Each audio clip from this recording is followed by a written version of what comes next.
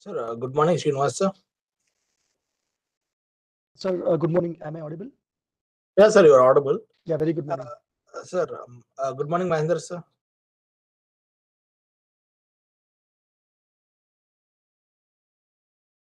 Sir, good morning, sir. Good morning, Teja. Uh, shall we start, sir? Yeah, Sir, you are you, you will be taking the first session or uh, no, uh, we, we have divided our presentation into two parts. So Okay. first part on tsunami warning system and uh, tsunami modeling. Dr. Shiva Srinivas, uh, who has already joined the meeting, he will uh, take, next I will follow him. Okay, sir. Sure, sir. Uh, uh, okay, uh, Teja, I have a small issue here. Uh, so I don't have uh, my suddenly my uh, mic and video is giving a trouble in my PC. So what Okay, I've done is I have logged in mobile for audio and video, and for presentation I have logged in uh, PC. But I think Sir, I'm no unable issues. to. I'm unable to view in both. Uh, I'm unable to log in, I guess. uh, sir, you can do one thing, sir. You can join with the panel. Uh, now we are uh, videos have a problem, sir. Uh, my uh, PC video has a problem. Okay, So- ca- okay, no issue. Uh, I connected, but I think uh, it is throwing me out Okay. Because Uh, already. can you do one thing, sir? I will share one uh, link with you. Like I will Okay. share the link with Mahendra, sir. So Okay. you join wi- uh, join with that link. Then after I will make you the panelist. Uh, I have No, joined you- through a panelist. No, no, I will give that uh, attend attendee link for you. Then after I will make you panelist. Uh, Fine, okay. Uh, I think I have got the uh, uh, attendee link as well. I have joined through panelist only from uh, both uh, PCs, but I'm exiting out after logging in. Okay, fine. Uh, do it. Uh, we have actually we have a four here for which PC I have to give uh, a sharing of uh, option. Mm, I have actually four here. Oh, I have logged in uh, four times, you mean? Huh, four Seriously? times. Once in mobile, three times in PC. Uh, okay, you uh, close the, uh, you keep in the first one, but uh, unable to Yes, sir. see in PC. Uh, I have logged in, but I am unable to see the uh, portal in PC. It is logging me out. Okay, I can you do one thing, sir? You can log out all the devices except the mobile. Okay, sir. Okay. Okay. Then I will uh, send uh, I will send one link to Mahendra sir. Mahendra sir will share it to you, so you can log in with that link. Then after you let me know, so I will make you panelist. Fine, fine, Tejas. Sorry you log out from the, all the PCs. Ah, no issues, sir. This already Okay. always happens. Sharing the link with the managers. Okay.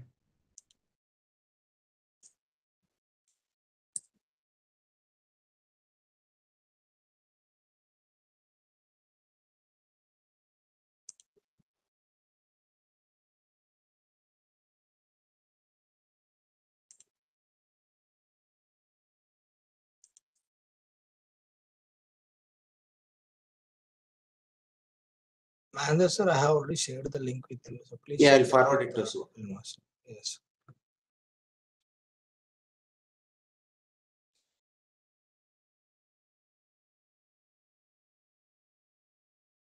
Yeah, I forwarded to Shiva Srinivas. Shiva I- Srinivas, I I- sent you Ah, yes, sir. WhatsApp Uh, uh, WhatsApp, you should have sent me in uh, a mail, sir. mail. Huh? Uh, because it's in uh, PC, right?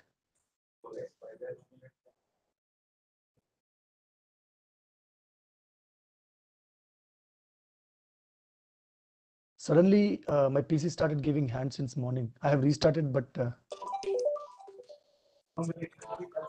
It's okay, sir. Uh, dear participants, uh, good morning all. Uh, uh, we will be joining our session within a couple of minutes. There is some technical issues with uh, uh, Srinivas system. We will back within two minutes.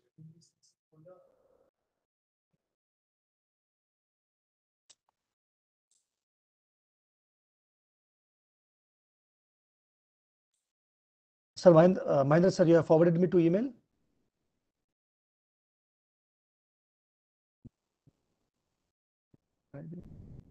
Churros.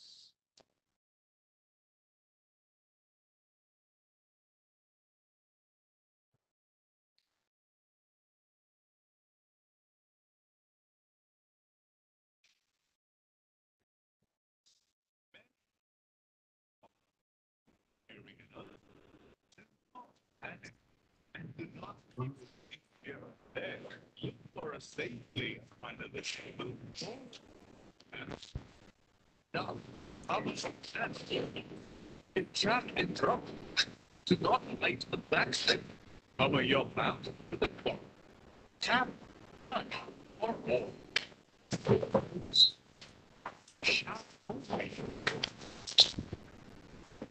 Use stairs and not bins or elevators. And spade options. Be cautious and check for stable objects are around. Be smart. Be sir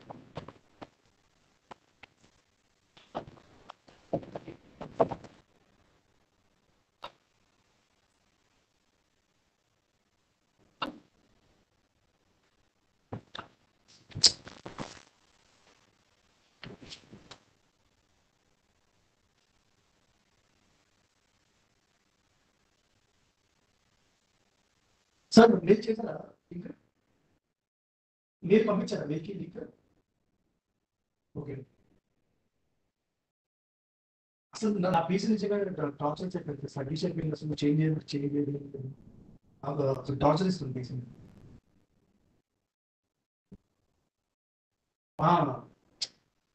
మీరు వాట్సాప్లో పంపించారండి oh okay. మీరు correct అవ్వాలి.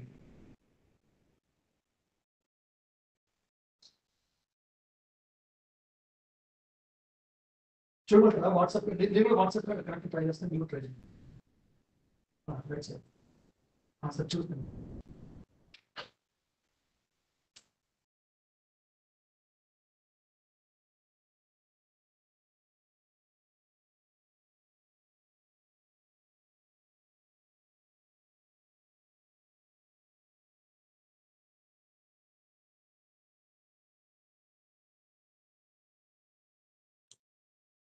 And Tarun, this share option is not enabled for us. To share PPT. uh, that, I enabled your share button, sir. okay, okay. Uh, uh, Te- Teja, it says uh, already you are in the event. Uh, so they say join again. Okay, uh, in the panel, in the attendee list, sir? Uh, it says you are already in the event. Uh, the link which you have sent to Mahendra sir, I have uh, clicked on the link. So if I say join event, yeah. I'll be uh, I'll be able sir, to log you are now, you are, you are, you are now in the list. But uh, uh, what I suspect is after some time it will throw me out. No, no, sir, uh, you just check in now, sir, I have make you panelist. Uh, your, uh, we have a one, two, three, four, four, four logins actually. So which PC I uh. should give a share button access? Sir? Uh, uh, uh, uh, Mahendra, can you come here? Yeah, I, I'll go to Mahendra sir uh, place and, and then I'll talk from there. I think that would be better. Sorry, sir. Okay, sir. Right.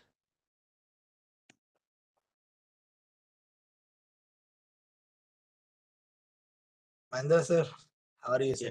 It's okay. It's okay. So these are the technical uh, uh, glitches will be there, know, no problems.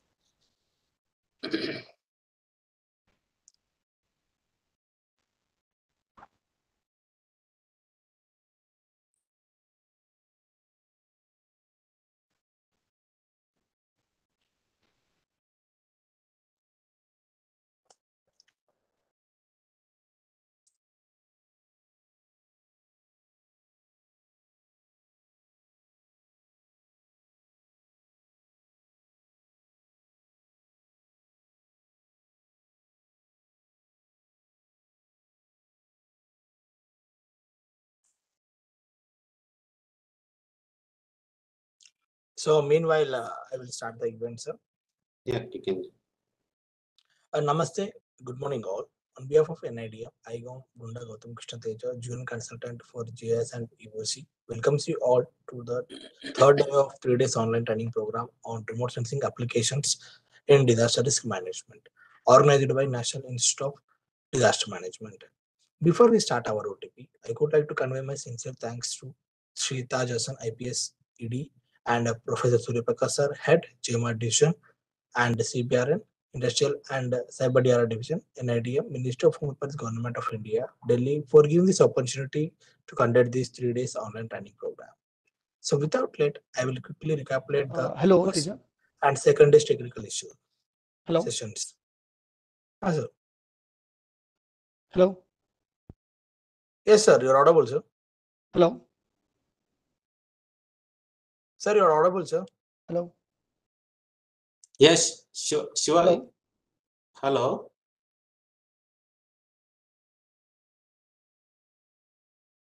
Hello. Hello. Sir, you're audible, sir.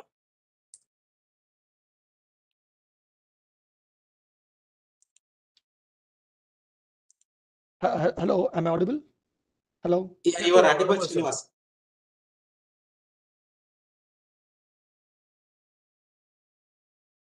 So otherwise, I can start with my presentation uh, before he comes. Uh, sure, sir. We can do that. Yeah. Uh, so So- without late, I will quickly recapitulate the first and second days of technical sessions. On first day, Dr. Praveen Gupta, head Land Hydrology Division at Space Application Center, ISRO, Ahmedabad delivered a session on flood satellite observations and modeling, followed by Dr. Bipasha Paul Shukla, scientist, SG, Atmospheric Science Division, Atmospheric and Ocean Sciences Group, Space Application Center, ISRO, delivered a session on satellite-based nowcasting of extreme events. On second day, Dr. KK Sharma, at present working as a group head of uh, Remote Sensing Application Center Group at Northeastern Space Application Center, delivered a session on geospatial technology in disaster risk management, and followed by Dr. Digant Barman, Division Head, Water Resource, NESAC, a session on geospatial applications in flood and river bank erosion management. So, dear participants, please note that you have a you can source your questions queries in chat box as well as the question and answer section. And also please make sure that to attend and pay attention to the sessions to claim the certificate from the NIDM training portal after this OTP. So without it, I'd like to introduce our first speaker to our audience. Mr. Mahendra RS has completed his uh, master degrees in geoinformatics in 2002 from Mangalore University. Earlier in 20, 2000, he obtained a master degree in marine geology from Mangalore University. Subsequently, he worked at Karnataka Space Remote Sensing Center, Bangalore, India as project scientist during 2003-2005. Later, he joined INCOIS, Ministry of Earth Science as a project scientist to be in 2005. Since then, he is working in INCOIS and currently working as a scientist E at INCOIS, India. He has over 19 years of experience in the field of coastal geospatial applications. He has accomplished national projects on coastal vulnerability index mapping, multi-hazard vulnerability mapping, 3D GIS mapping, and coral geomorphology mapping. He also responsible for implementation of coral bleaching alert system at INCOIS. He has more than 30 publications in referred journals and more than 30 papers presented in the conferences. Besides, he is also instrumental in finalizing of two atlas on coastal vulnerability. He was resource person for GIS sources conducted under IODE and TEMP training programs of IOTWMS of ICO UNESCO. With this, I'd like to invite Mr. Mahendra Kumar sir. Yeah, thank you, Teja. So, Yeah, the floor is yours now, sir. Yeah, wonderful introduction. So sorry viewers for technical uh, uh. Uh, we will start. Uh, initially, I will present on vulnerability mapping. Later, my colleague uh, Shiva, Dr. Shiva Srinivas will present on the tsunami inundation modeling uh, aspects. So I'll Okay, share my presentation.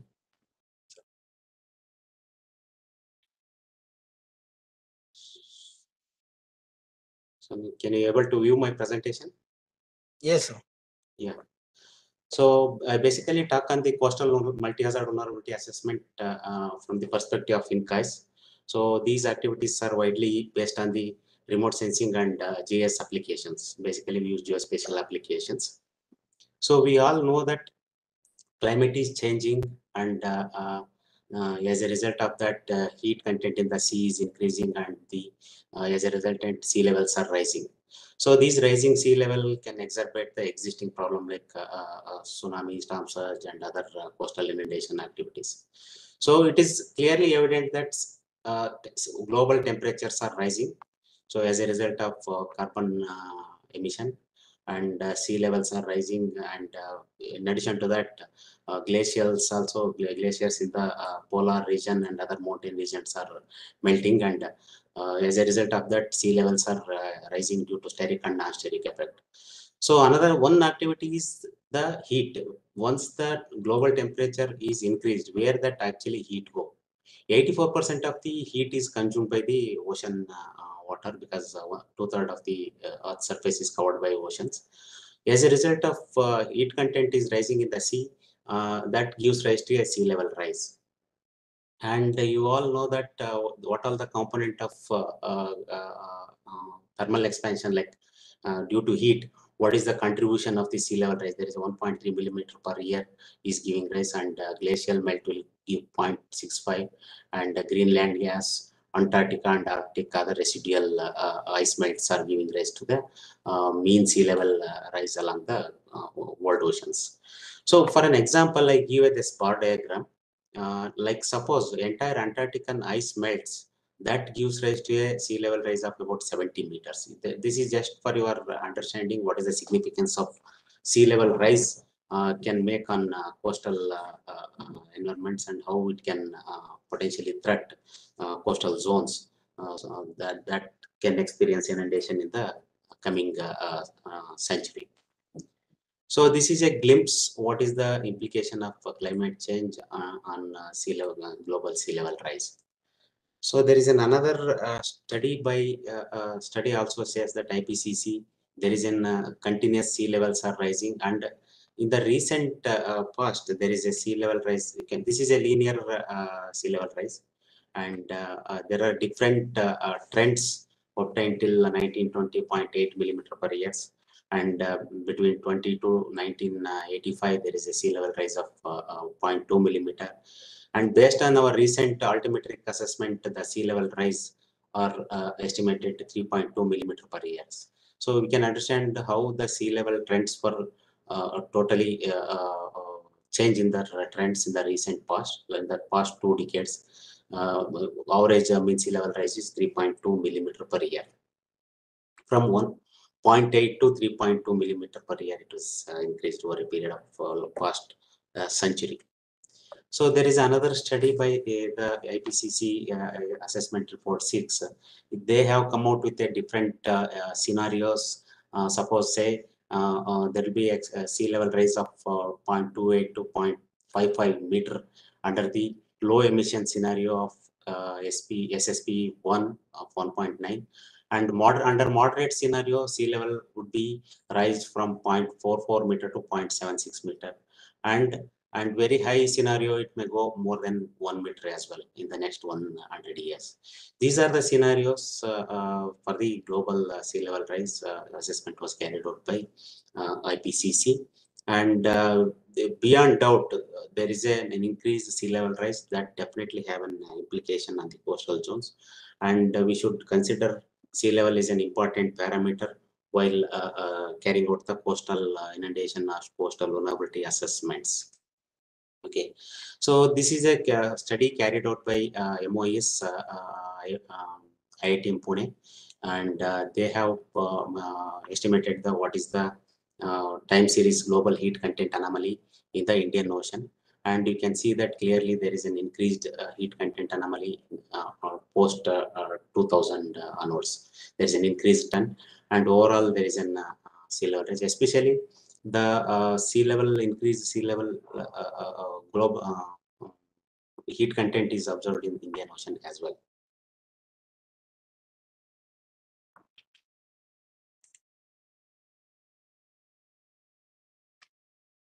So impact of climate change on Indian Ocean has been also carried out, and it was observed that uh, sea sea level trend during altimeter uh, period, like after 1993 onwards, uh, the increased uh, sea level rise was observed about a point uh, about five millimeter per year, especially in the northern Bay of Bengal has recorded highest uh, uh, sea level rise. There is an examples of sea level rise recorded by different uh, tidal gauge stations were also uh, presented here, Mumbai, Kochi, Vizag, and Kolkata. So about 10 to 30 centimeters of sea level rise was uh, recorded during the period of 1950 to 2015. So, and another study, case study uh, was carried out based on the altimetric data. Uh, pre 2004 and post 2004, there are different uh, trends are depicted in the uh, uh, Indian Ocean. Uh, we have carried out four scenarios for entire Indian Ocean, Northern Indian Ocean, Arabian Sea, and uh, Bay of Bengal. These are the four uh, scenarios. Out of which, Northern uh, uh, uh, Bay of Bengal has recorded highest uh, uh, uh, rate of uh, 7.5 uh, millimeter uh, per year plus or minus 0.73 uh, per year was recorded. So these there is no uh, these are also giving a, a vital information because altimeters uh, on board the satellites record continuous uh, sea levels and based on that we can calculate the trend.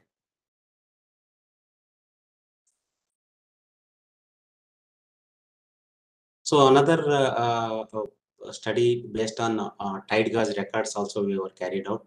So we have, thanks to Survey of India, which is an oldest survey institute in the world, they installed tide gauge stations along the Indian coast. And uh, we have very uh, uh, large data sets available for few station, Mumbai, Kochi and other stations. More than 100 years of data is available. Initially, the, though these was uh, these stations were uh, uh, installed for the navigation purpose, later due to these climate change and other things, they these sea level data has gained important and widely used for the estimation of sea level trend. So we can uh, we have estimated sea level trend based on the tide gauge record for various uh, stations. Suppose say for Mumbai we have recorded 1.2 millimeter per year, and Kochi 1.75, Vizag 1.9, and Diamond Harbor is highest 5.74 millimeter per year uh, based on these tide gauge records. Even tide gauge records also reveal that there is an increased sea level rise in the recent past, and uh, there is a serious concern uh, for uh, uh, the coastal authorities to assess and make well prepared measures. So sea levels are rising at a rate of uh, to 0.5 millimeter per year on over a period of uh, next 100 years. It may be 30 to 50 centimeter. How does it matters? So but sea level alone may not have uh, significant impact on the coast but it can exacerbate the existing problem in the future.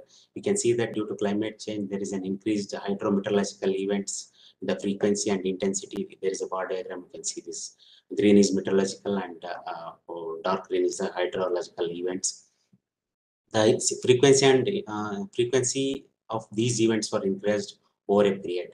Uh, and in addition to that, there will be an increased heat wave conditions and extreme cold wave conditions as well.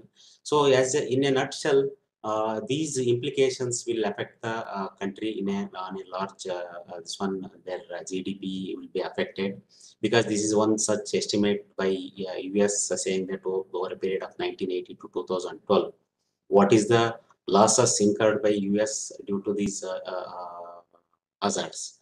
So you can say that average number of dollars due to damage events and what is the consequence economical loss due to these disasters.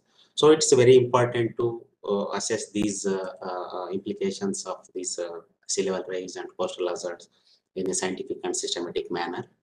And uh, in our why the, the oceans are very important not only uh, due to these resources it will also have an, a vital uh, um, uh, strategic place and transport medium and large coastal densely populated uh, coastal uh, population depend on various uh, oceanographic resources for trade other things so that's why it's important to make a systematic assessment of coastal ocean to make a systematic assessments, we need to understand the dynamical process of the oceans. So ocean is a dynamic uh, uh, uh, in nature. It contains a lot of uh, uh, internal uh, physical, biological, and geological process within it. On top of it, atmospheric also interact with the ocean. And in addition to that, when it when it comes to the coast, there are a lot of uh, terraceous or land-derived processes also interact with these oceanic parameters. Hence, we need to have a systematic assessment of these oceanic phenomena. Uh, what is the kind of uh, disaster can be generated? What is the origin, uh, genesis, and what kind of impact on the coastal zone it can make? So, for to understand these uh, ocean dynamic process of the ocean, uh, remote sensing plays a vital role. There are several and uh, several remote sensing satellites revolving around the Earth, and they provide they, they onboard various sensors like radiometers, altimeter, scatterometer, and synthetic aperture radars. And these sensors providing vital information which can helps us to understand the ocean oceanographic phenomena, the parameters such as uh, sea surface temperature, ocean color, and uh, wind speed and uh, uh, uh, sea, sea surface height, and various other parameters. Even we can also uh, study on the, the cryosphere, sphere, what is the uh, mm, uh, polar ice content, what is the how, how glaciers are depleting. All these phenomena can be studied pertaining to the uh, ocean and land as well. So especially for oceanographic study, we have OceanSat 1, 2, and recently, uh, a couple of days back, Ocean, OceanSat 3 was also launched. It has on board uh, uh, ocean color monitor, uh, sea surface temperature, and uh, scatterometer as well. So these uh, remote sensing satellites provide vital information on analyzing the ocean, extracting the oceanic parameter, and those will help us to understand the various oceanographic phenomena. In addition to that, we also have various uh, uh, uh, sensors which are installed in the sea because INCOIS is a kind of a, um, um, marine data center. We host a lot of marine oceanographic data on our uh, uh, website and uh, on our servers. We continuously monitor the ocean seas through these sensor. We have Argo floats, uh, buoys, drifting buoys, XBTs, and current meters. So we also have a tide gauges and the deep ocean tsunami uh, buoys also available, coastal radars, seismic networks, uh, and uh, uh, ship-mounted automatic weather stations. And we also have uh, wave radar buoys to measure the continuous wave activity. And we also have a ocean-going research vessels. Uh, with us for specific purpose, we conduct a lot of cruises to collect various oceanographic parameters. Uh, we recently uh, um, uh, we, recently acquired gliders. It's a kind of a, a remote vehicle. We can mount various sensors on that, and we can collect a specific parameters along the track by guiding these gliders.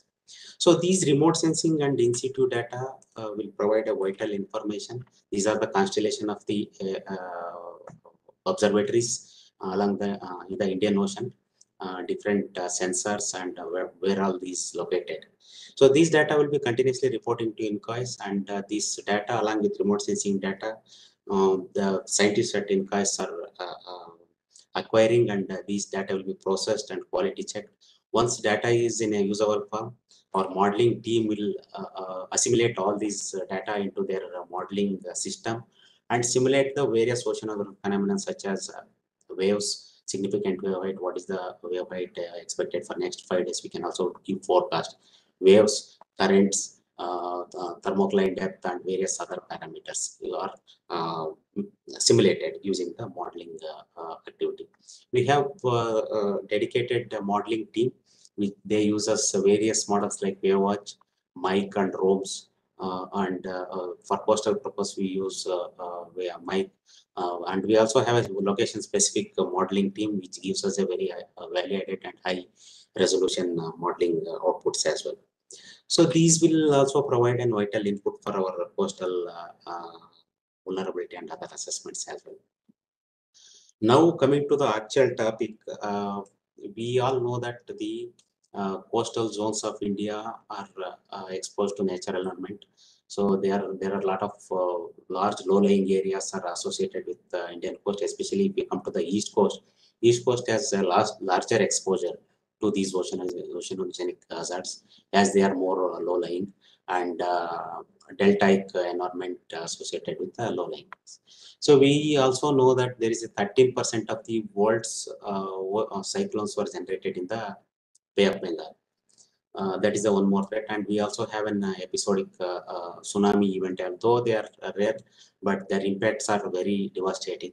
And in addition to that, continuously rising sea levels also there. And we also observed that there is an increased frequency in the tropical cyclones as well. We will notice back-to-back cyclones in the Bay of Bengal. Now even uh, Arabian Sea also not safe from the cyclones. Earlier cyclones were less in the Arabian Sea. Now the cyclone uh, uh, is also increased in the uh, uh, Arabian Sea as well due to the uh, marine heat waves are getting increased and uh, there are conditions which can also translate the cyclones into Arabian Sea as well.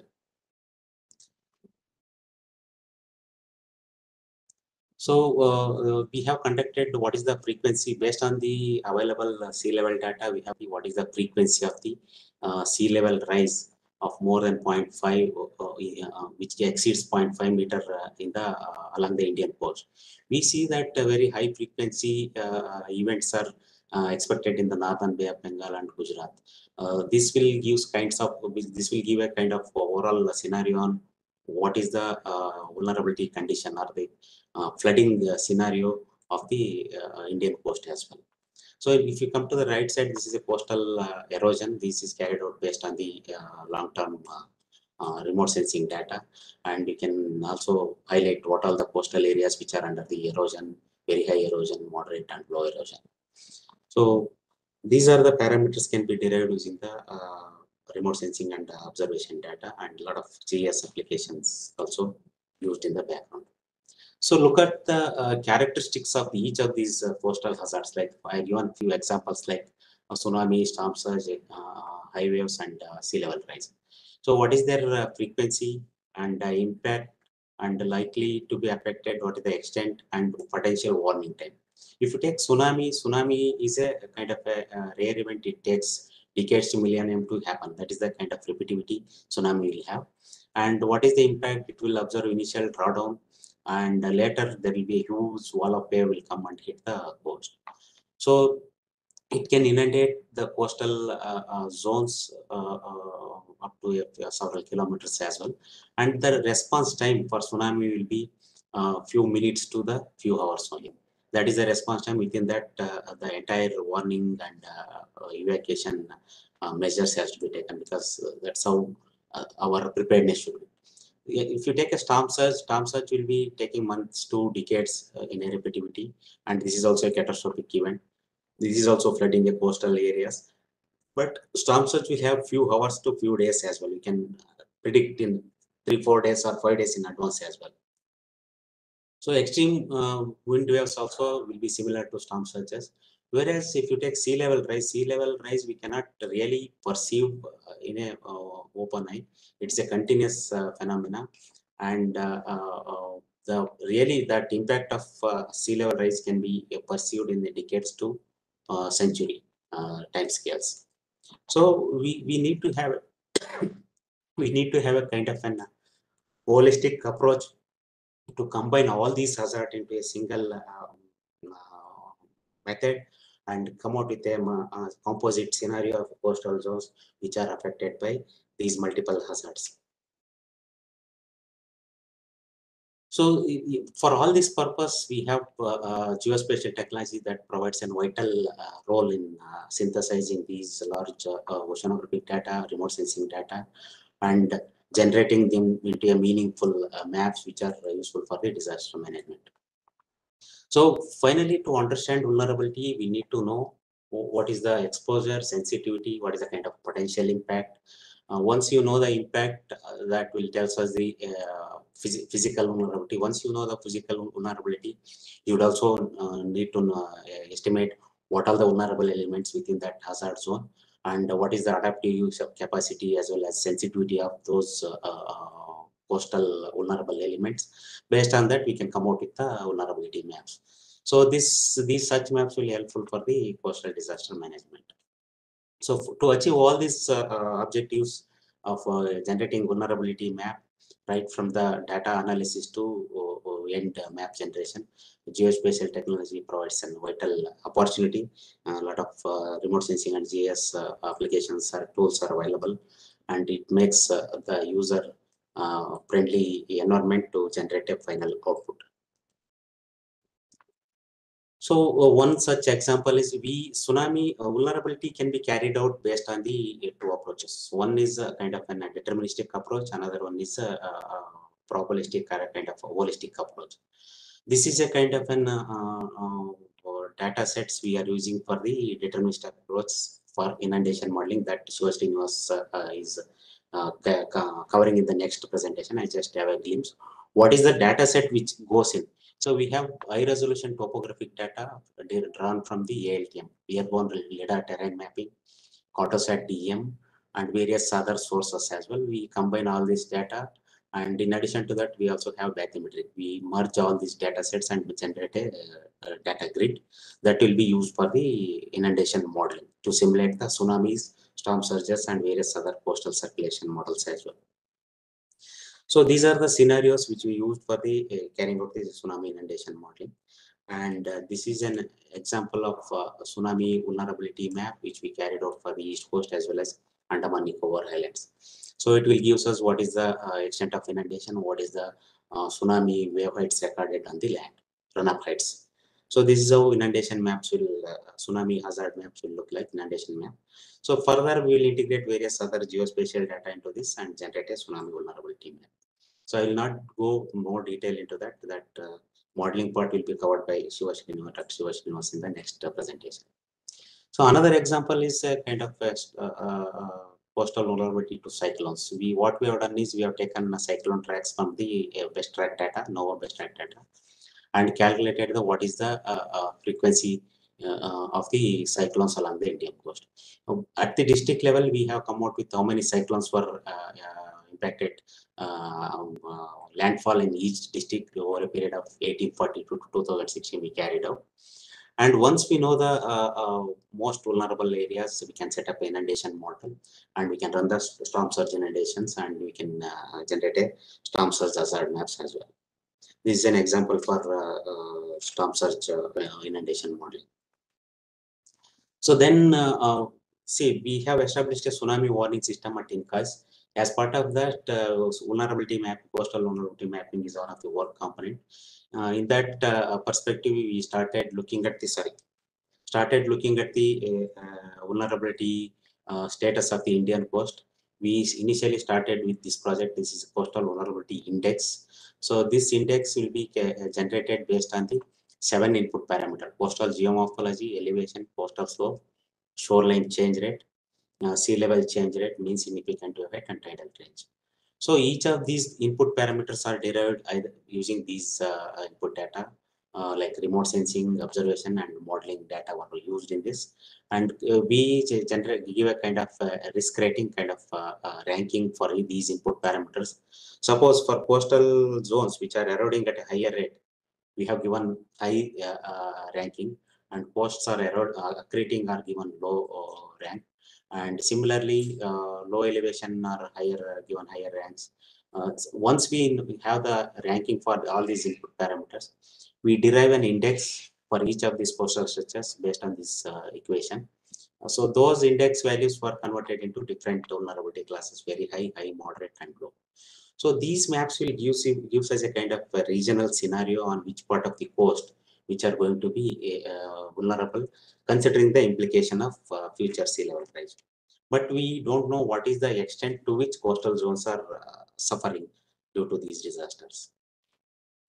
So this atlas we have prepared in uh, 2012 and released in 2012. Uh, these maps are generated on 1 to 1 lakh scales for entire Indian coast, including Andaman, Nicobar and Lakshadweep Islands as well.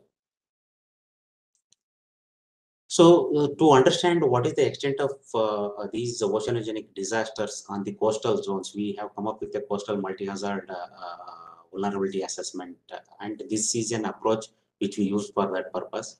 It has a continuous sea level data, like uh, hourly data we have taken. Those data set will have a, a record of uh, historical events like storm surge, tsunamis, or coastal flooding, all those things.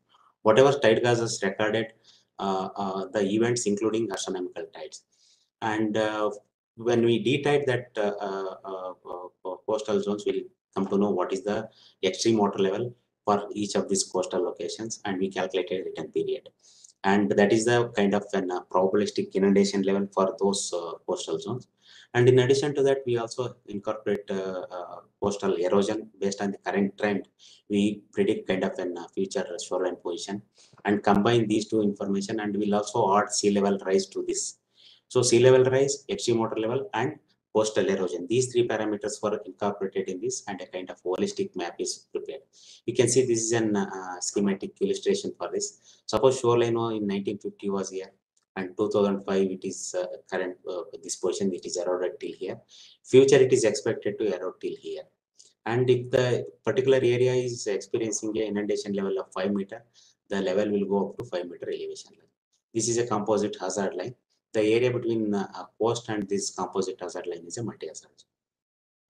So for this purpose, we have used ALTM data, Carto DEM data, uh, uh, Landsat and other IRS data were also used for shoreline change assessment and our tide gauge hourly data used as well. So suppose how we calculate the uh, um, DEM. Um, DEM is generated based on the aerial uh, ALTM. Uh, ALTM uh, lidar sensor is uh, on board aircraft and flown along the Indian coast, and it is um, lidar data was processed and a, DEM was generated. In addition to that, we also can generate the DEM using the uh, stereo satellite stereo data as well. Uh, recently, a lot of data is generated using drones as well. We'll get high, very high resolution uh, digital elevation models as well. And we can also generate using the uh, vehicle mounted or uh, uh, street um, uh, 360 degree monitoring cameras as well. These are the important uh, mapping techniques for the, the 3D mapping of the terrain as well as buildings will be carried out. This is an uh, just example of how extreme water levels were calculated and how return periods are calculated.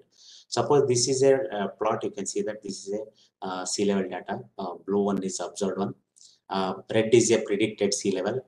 Once you subtract these two, you will get a residual. Residual will give the ex- extra, extra extreme events which were recorded in the tide. Suppose this particular event, there is a three meters of event recorded in the tide gauge. Such events recorded uh, will be extracted from entire uh, tide gauge records for a period of uh, more than 100 years and we'll uh, plot them on a uh, uh, this curve to calculate the reduced variate. Once we know the reduced, reduced variate, we'll fit into non-exceedance condition and the return period is calculated based on this equation.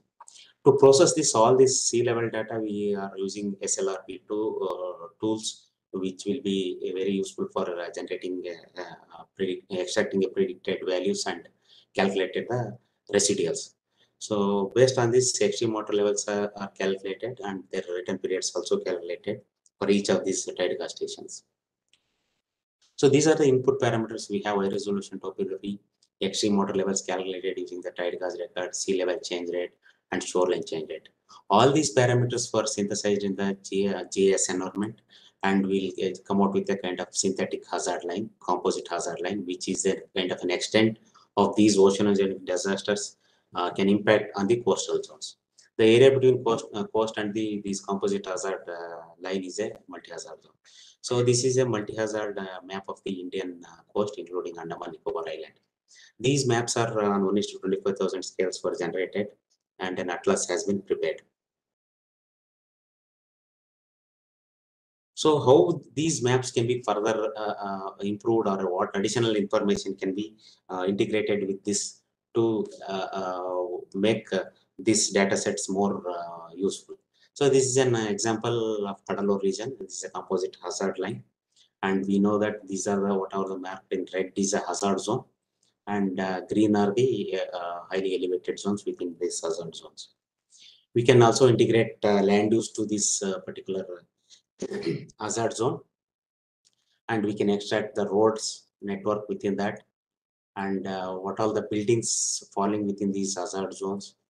And we can integrate all of them and uh, kind of make, make a kind of assessment what all the buildings which are falling in the hazard zones. And uh, this will make us useful to generate a risk map like these are the risk areas. This will helps the disaster managers to prioritize their actions during a disasters. And in addition to that, these roads also will be useful to select evacuation paths during a event. Once you know the uh, safe shelter, which is the uh, nearest route uh, uh, based on the road condition and width, you can also uh, select an uh, evacuation routes as well. So these um, maps and products generated out of this you know, project are very useful for the coastal disaster management. Considering these application, uh, we have developed a uh, 3D GIS uh, mapping for the uh, these uh, locations like uh, uh, Puri, Kakinada, Machilipatnam, Nizampatnam, Chennai, Cuddalore, Pondicherry, Rameshwaram, Tuticorin, Kochi, and Alleppey. So these are the coastal areas we selected for the setting up of the 3D GIS maps. So 3D GIS maps comprise of the kind of a city model. Uh, uh, individual buildings are mapped with a realistic textures on the roadside.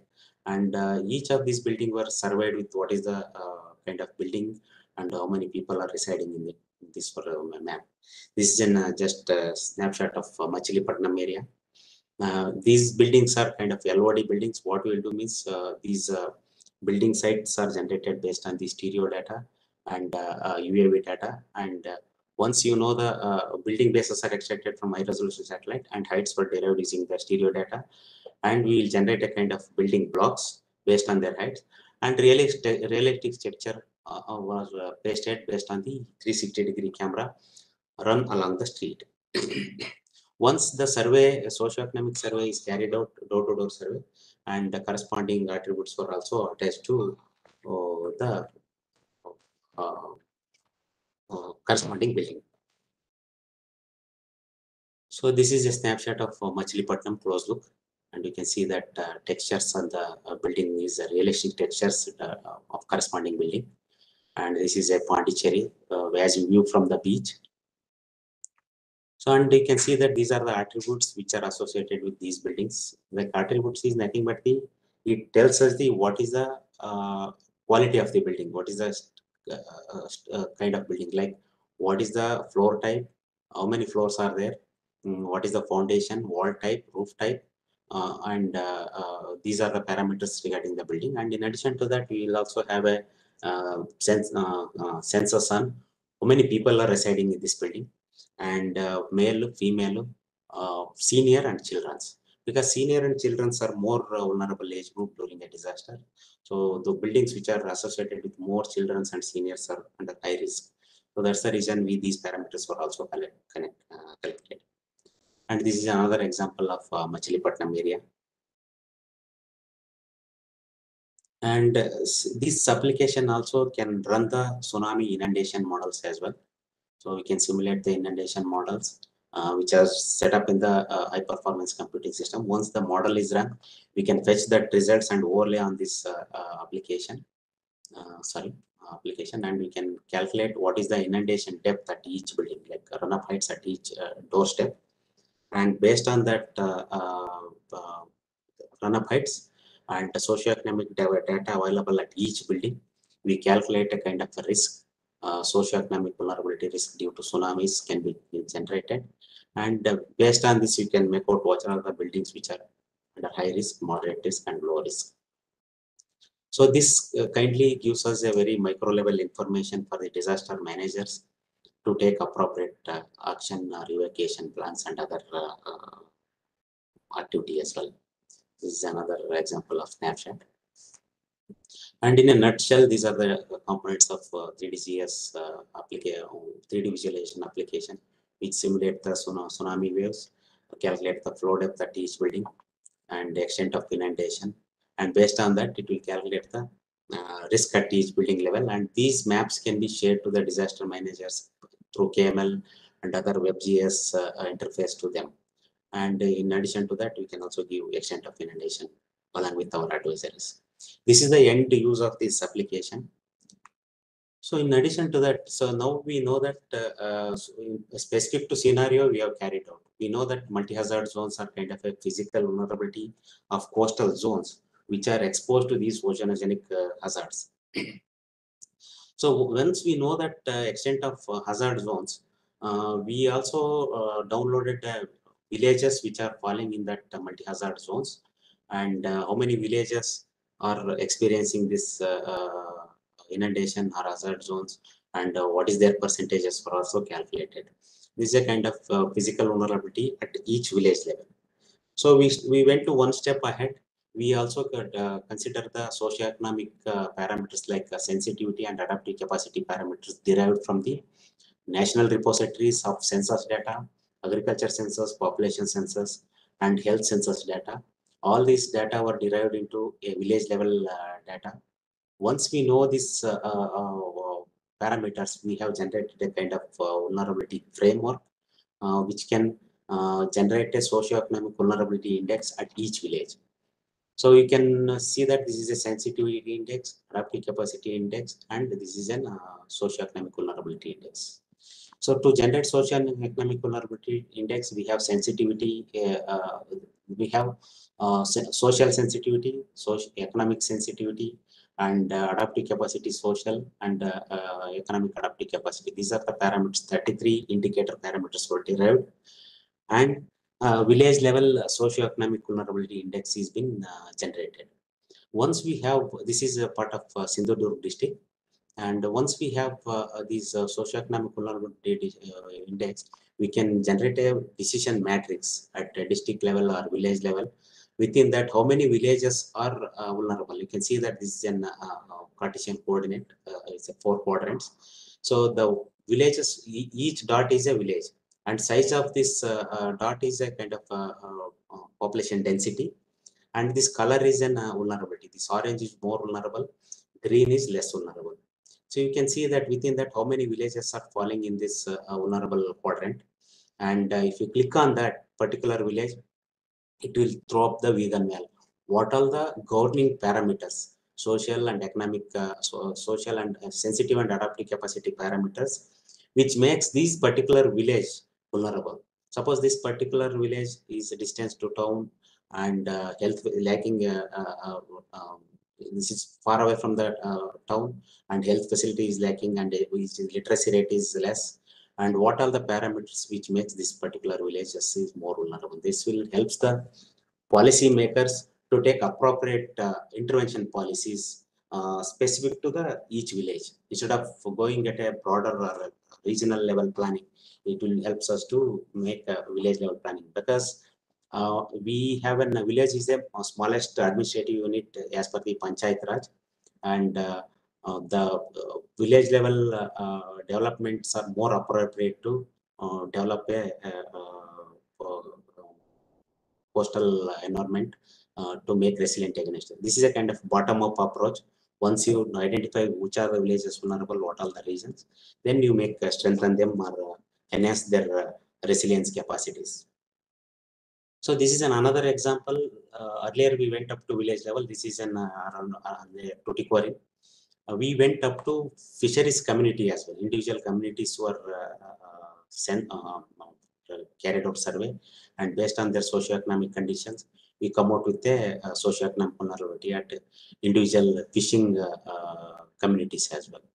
So here we have used 54 indicator parameters, and we also recommended what kind of uh, uh, intervention measures, alternate uh, livelihoods also listed out in the particular uh, publication and those will be very useful for the uh, policymakers or uh, governments to take appropriate intervention uh, measures and alternate uh, livelihood plans as well. All this uh, uh, data which we generated, uh, uh, this uh, project are uh, giving, uh, contributing to the our national initiative like National Coastal Mission and uh, which is uh, focused on uh, climate change adaptation and mitigation uh, as well. And it also helps in prevention and mitigation of the hazards. And it also provide inputs to the national initiatives such as National Action Plan on Climate Change, ICZMP, National Coastal, Coastal Mission, and the recent Prime Minister's 10-point agenda on disaster risk reduction. So the global initiative also it contributes like uh, Sendai framework, uh, sustainable uh, development goals and billion development goals, which are primary focus on the strengthening the coastal villages against the uh, strengthening the community against the disasters. So uh, another activity which we carried out is marine heat wave. Earlier I was telling that marine heat waves are uh, increasing. As a result of that, coast, coastal marine uh, ecosystem like corals are getting bleached as well. This is one such uh, uh, uh, case study we carried out. We can see that uh, what are the uh, marine heat wave generated in the Indian Ocean, what is that intensity, and based on that intensity, what is the percentage of coral bleaching that can possible. We have established a relation, and uh, this is a kind of case study carried out. And these are the events over a period of uh, 1900 to 2020. What are the marine heat wave events were recorded? You can see that over a period there is an increase of marine heat wave event. So before that, I want to say what is the marine heat wave. So marine heat wave is a kind of uh, elevated uh, uh, sea surface temperature persist for uh, more than five days. So that's the kind of an uh, uh, generic definition for your understanding. So these marine heat waves will also play vital role in the genesis and genesis of cyclones as well. In addition to that, it has a lot of adverse impact on our marine ecosystems like coral reefs and other things. So remote sensing and uh, uh, GIS, GIS tools will provide vital uh, uh, opportunity for us to understand such phenomena or implications or impacts of this climate change or uh, disasters for the coastal environments and ecosystems along the Indian coast. So the, with this, we have also started um, coral bleaching uh, uh, alerts. What is a bleaching? Bleaching is a kind of uh, uh, uh, coral environments are under a severe uh, stress condition, which is not favorable for them. So this mainly happens due to increase in the temperature. So coral is a kind of an polyp. It's an animal, and it hosts an zooxanthellae algae. When the temperature rises or any unfavorable conditions are there, that zooxanthellae will comes out of the uh, host coral, and that coral get bleached. So if that zooxanthellae doesn't turn back, return back to the host, that coral will get died. So without zooxanthellae, corals cannot survive. These elevated temperature, pollution, and other parameters will make uh, uh, the coral environment uh, more unfavorable, and uh, that leads to a bleaching. So the sea surface temperature based coral bleaching alert systems we have initiated at INCOIS. We have conducted various case studies in the Andaman and uh, Gulf of uh, Mannar areas. Uh, after that, we are providing these data products on our website routinely. So with this, I will uh, uh, stop my presentation. Uh, If you have any queries, please let me know. Sir, thank you, thank you so much, sir, for uh, a wonderful presentation and uh, phone speeding about like uh, uh, coastal vulnerability mapping and multi-hazard mapping. Sir, uh, can you give me one minute uh, so we can have a questions from the participants? Yeah, yeah. Dear participants, if you have any questions, please put in the ch- chat box or uh, question answer section.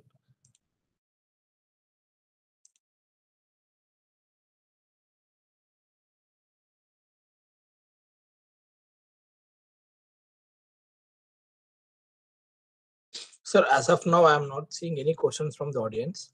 Yeah, So on, on, on behalf of uh, NIDM and participants, uh, I could like to convey my sincere thanks to you for taking time for us to deliver a training session on coastal multi-hazard vulnerability assessment and prospects of inquiries.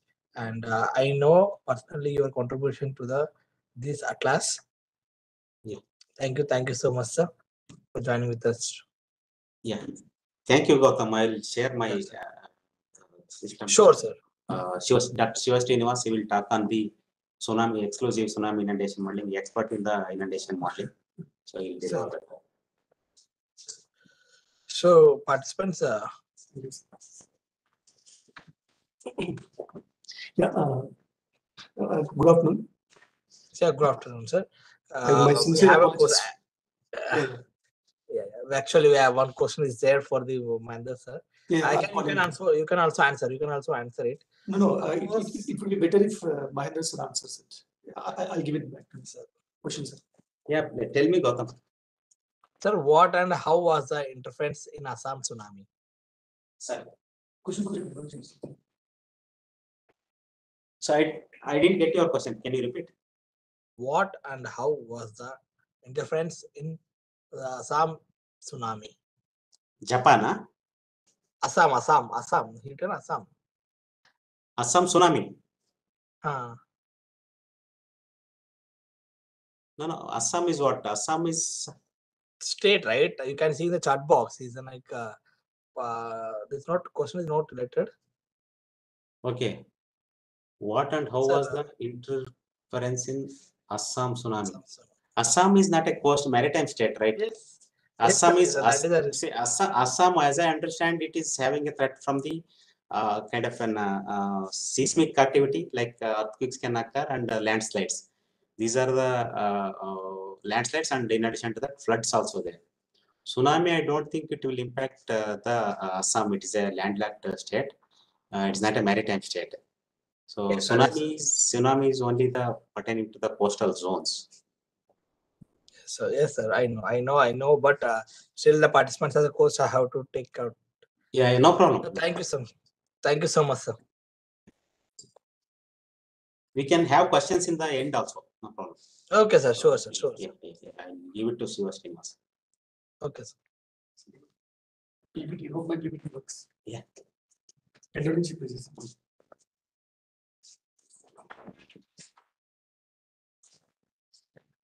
Sir, good afternoon, sir. Uh, uh, good afternoon, Uh, good afternoon, everyone. So- Uh, I apologize, my sincere apologies for the mess in the morning, eleven o'clock. So suddenly my PC gave hand, I don't know, it was hanging and all. So uh, I rushed to uh, Mahendra sir, and uh, thanks to him for sharing his PC. Um, Thank you, sir. Let me share Uh, my so- PPT. Yeah, sir. Uh, dear participants, and uh, without delay, we're going to our uh, second technical session. So I'd like to introduce our uh, second speaker to our audience, Dr. Shiva Srinivas, sir, experienced scientist with a demonstrated history of working in the finite element modeling of uh, structures and fluids, skilled in uh, research and development, mathematical modeling, Okay, programming, MATLAB, and mathematical and physical I have copied that. research. Strong research professional with a MSc focused on physics from Osmania University and pursued his PhD from Indira Gandhi Center for Atomic Research. Uh, Share, share. So with this, I'd like to invite uh, Dr. Shiva Srinivas sir. Yeah, I'm sharing screen. I'm Just a You second. can share the screen. Yeah. you can see the screen.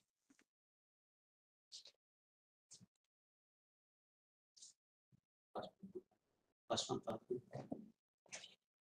one.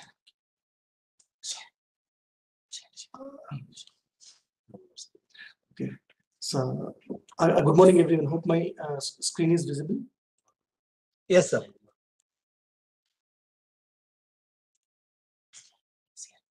slideshow. Ah. So, we need break, yeah. Uh, So, uh, uh, good afternoon. Uh, This is uh, Siva Srinivas. I work in uh, Indian National Center for Ocean Information Services. I work on uh, numerical modeling of uh, uh, tsunami and storm surges. So here, like, I, I would like to give uh, a small glimpse or brief presentation on how we numerically model uh, tsunami here in INCOIS to mitigate the disaster of tsunami. So my outline would be, I'll give a, a very basic general introduction, like what a tsunami is and why only numerical modeling is required for tsunami. And then I get back to uh, what we do for tsunami in INCOIS. Now, uh, I would like to give a quick, very small example or experiment. Uh, see, uh, okay, sorry, uh, as I've changed the PC, uh, I'm, I- I'm unable to play the video. So I would like to quickly give an introduction. Uh, this is a, a cubical tank filled with water. And this is a, a shake table where I can create artificial earthquakes. Now imagine that there is an earthquake at the bottom. Then this free tank will uh, oscillate and the free surface of the fluid will uh, vibrate. Uh, When it vibrates, the height of the uh, tank will keep on increasing. Here it's a plot of uh, time series uh, versus height. So when there is an earthquake, the free surface, there will be oscillations. It keep on increasing. The height keeps on increasing depending on the frequency of the earthquake. If the frequency of the earthquake is close to the if the frequency of the earthquake is close to the uh, frequency of the tank or the natural uh, frequency of the free surface, then I can see a increased uh, increase in the height, so that the water will slosh out. It will come out of the tank. If there is mismatch in the frequency, if the frequency of the earthquake is not closer to the uh, frequency of the tank or the frequency of the free surface, then there won't be any uh, increase in the height. So this kind of phenomenon is called as sloshing. Now, why I would like to uh, give this example is, now imagine uh, this tank is a, a finite tank. Uh, Maybe its dimensions are one meter cross one meter cross one meter. Now imagine the walls are uh, infinite. There is a huge uh, distance, uh, thousands of kilometers between these walls. And imagine the depth is really uh, in kilometers. Then this will give you give us a, a real representation of an ocean. Now imagine at the sea bottom there is an earthquake.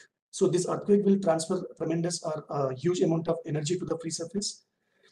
And the free surface takes the huge amount of energy and it will uh, deform. The height of the uh, undisturbed free surface will rise And under the gravity, this free surface will uh, flow towards the uh, coast. So this is the uh, real cause of uh, tsunami. So the small example will give us the significance of tsunami or we can relate this to tsunami. Now, when I calculate such wave heights, when I want to calculate whether the free surface is stable or not, uh, this particular phenomenon is governed by uh, some set of uh, physical physical laws and conservation of energies.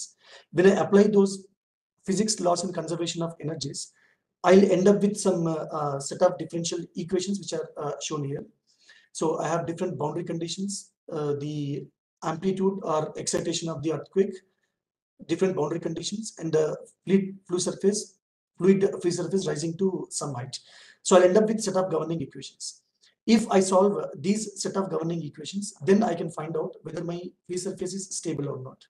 So whenever uh, we are studying any physical event, the physical event or physical phenomenon is uh, governed by a set of physics laws, conservation of energy laws, Newton's laws, etc. We end up with the governing equations.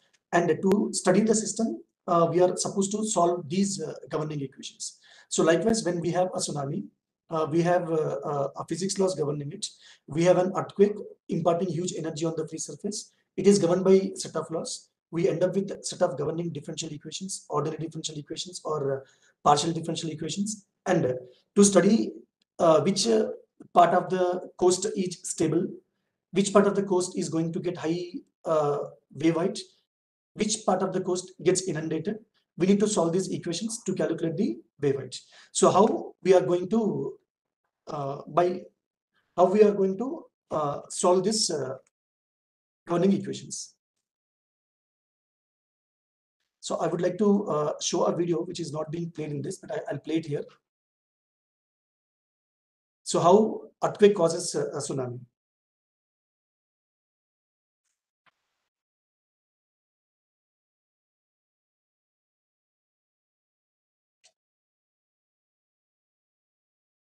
So at the sea uh, bottom, uh, uh, we have subduction zone or huge rocks, which can, which are prone to earthquake. When these move vertically upwards, they impart uh, huge amount of energy to the free surface, and the free surface will propagate towards the coast.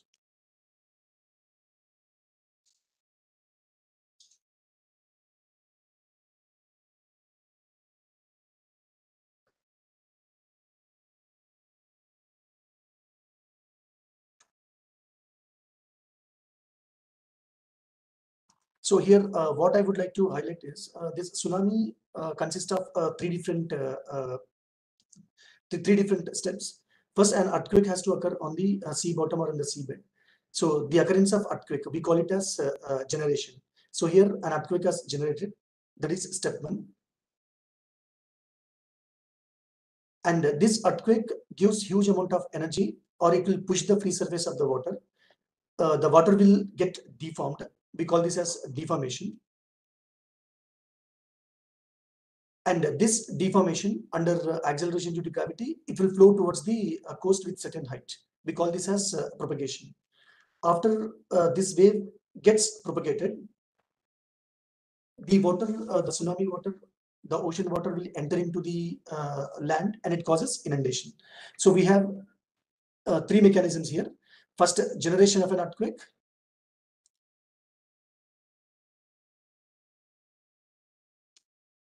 first uh, generation of an earthquake it's called generation. And uh, earthquake imparts uh, energy to the free surface. The free surface gets deformed. We call this as a deformation step. And under acceleration due to gravity the raised sea level water will propagate towards the coast. We call this as propagation. Once the water enters the coast it will cross the land and it will inundate or flood the land. We call this as inundation. So we have the step generation propagation and inundation so uh, just now, uh, as we discussed, every uh, physical event or physical phenomenon will be governed by set of differential equations. Likewise, tsunami is also governed by set of differential equations. Our aim is, here is to calculate the uh, wave heights and to what extent the water has inundated the land. So my interest is to calculate the wave height. So to calculate the wave height, we are supposed to solve the governing differential equations. To solve these governing differential equations, uh, we have uh, three different methods like analytical solutions or conduct an experiment or have real-time observations and solve it uh, numerically. Now coming about analytical solutions, if I uh, speak of uh, solving the tsunami equations using analytically, it's a huge domain and equations are highly nonlinear. So analytical solution is uh, ruled out. We cannot solve it analytically. Of course, as experiments are ruled out. In coming, coming about observations, uh, as in the tsunami, we have very short response time. We cannot wait for the observations to show what wave height uh, we are going to have or what part of the land is going to get inundated. Because the observations are in the real time, we cannot, they cannot uh, give us in the prior, they cannot give us observations two to three uh, within the uh, response time. So even experiments or observations are ruled out. So the other approach, which is uh, possible is numerical method. So uh, you, you, applying the physics laws, we solve the uh, set of differential equations, we calculate the wave heights, we forecast uh, tsunami or forecast the wave heights using the numerical methods. A numerical method is nothing but solving a set of differential equations. So like uh, uh, in case of sloshing, uh, now the video is being played. we have a set of differential equations here. So uh, numerical methods are nothing but we are going to solve these set of differential equations for the unknown parameter here phi. In case of tsunami, we'll solve the set of differential equations for the wave height h. So numerical methods are nothing but way of solving differential equations to seek wave heights. So now uh, in numerical methods, we have uh, various uh, methods to solve it uh, numerical methods uh, vary depending on the accuracy you want and depending on how what computational capability you have and what coding capacity we have. So various numerical methods possible are finite difference method, uh, FDM, which is uh, very basic, and finite element method, FEM, uh, which is one step above the finite difference method and highly popular and gives us accurate solution. Finite volume method, meshless methods, highly nonlinear, take a lot of time. It's not used in case of tsunamis finite particle method and Monte Carlo methods, etc. So to summarize, uh, in real time, we cannot uh, use analytical solution or observations to forecast tsunami. So numerical methods are the sole dependency. Numerical method is nothing but we are solving a differential equation to forecast the wave height. So numerical methods like finite difference method and finite element methods are being used. Now, when I say uh, numerical method, any numerical method will consist of uh, uh, three different uh, steps. The first step would be pre-processing step. The second step would be mathematical solution. And the fourth step would be, third step would be post-processing. So any numerical method, which is a way of solving differential equations, uh, dep depends on three different, uh, it has three different steps. Pre-processing, uh, mathematical part, mathematical solver and mathematical solution, and post-processing. Now, what is this pre-processing? Pre-processing in the sense, now say I have a specific region, say Indian Ocean, uh, and Bay of Bengal. In the Bay of Bengal, uh, I have an earthquake prone area, which is uh, Sumatra subduction zone. Now I have an earthquake in the Sumatra subduction zone. Now I want to find out, will this earthquake cause tsunami? To what domain it will, it, will affect. So I need to select my domain of interest. I need to select my uh, region. I need to select my uh, uh, region. So selecting the region and meshing it, considering various locations, uh, forming a mesh, uh, picking up the data required for the domain. All this comes under pre-processing. So meshing part, considering what uh, what areas are of our interest and considering a domain, uh, all this comes under pre-processing. Now, once a domain is fixed, once a regions of interest ROI are fixed, uh, then we have the mathematical part. This mathematical part solves the uh, differential equations of tsunami using numerical methods, FDMR, FEM, etc. So uh, mostly we solve uh, these four kinds of uh, equations. This is a static equations. This is an eigenvalue equation, another eigenvalue equation, and this is a time-dependent equation. So we solve uh, this kind of equations in case of tsunami. So once we have our wave heights, once we have solved the uh, differential equations, next we need to uh, visualize or we need to analyze the results. So visualizing the results, analyzing the results, which part is most affected, which part of the uh, region, which part of the domain, considered domain will give us more wave heights. All these comes under post-processing. So to summarize, uh, we have three different steps in the numerical methods, pre-processing, uh, mathematical solution, and post-processing. So to solve these set of differential equations, to carry out any numerical methods, we need uh, a good computational capacity. We need uh, software for this. So various softwares are available in the market. We use uh, here we in INCOIS we use various softwares. We have very basic softwares like C, C++, Fortran, Python, R, Julia, uh, Mathematica, and uh, hi-fi uh, softwares like MATLAB, Octave, and Scilab. There are also commercial softwares like ABAQUS, ANSYS, Custom, Fluid, and OpenFOAM.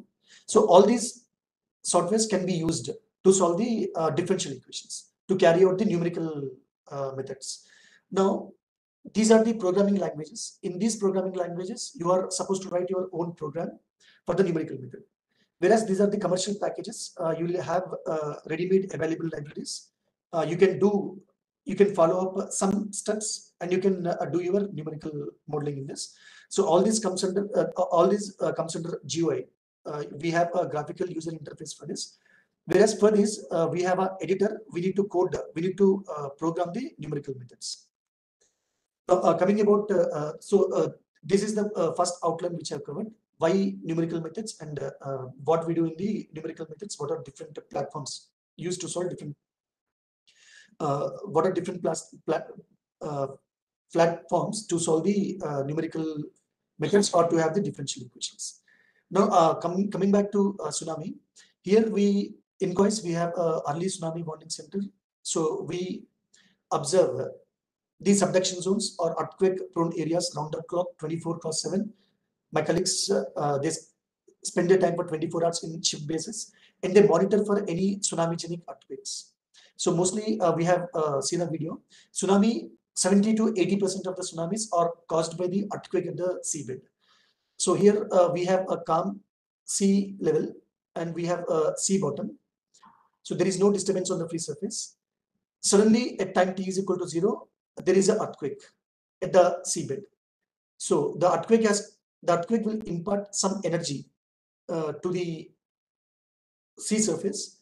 The sea surface will take this energy and it will deform. The height will suddenly rise exactly at the top of the uh, top of the ocean place where earthquake has occurred.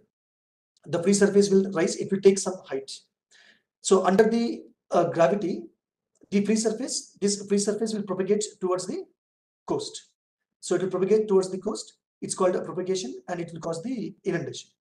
So after a certain time, after some infinite time, when there is no any further earthquake, uh, when the seabed is calm, the uh, sea surface comes to no disturbance. So uh, these are the different uh, uh, steps involved in the tsunami. Uh, as I said, earthquake has occurred. This is generation.